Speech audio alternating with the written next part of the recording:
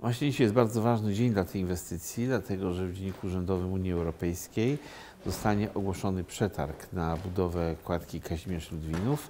Kładka przepiękna, długości około 130-140 metrów, o szerokości 14 metrów. Będzie to kładka pieszo-rowerowa.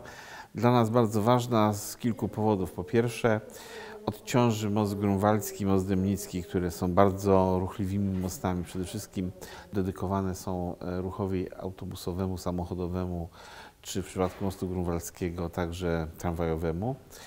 Dzięki temu piesi są trochę w dyskomfortowej sytuacji, gdy przechodzą przez ten most. Teraz będą mogli skorzystać z tej kładki, kładki pieszo-rowerowej, która połączy Kazimierz z Ludwinowem.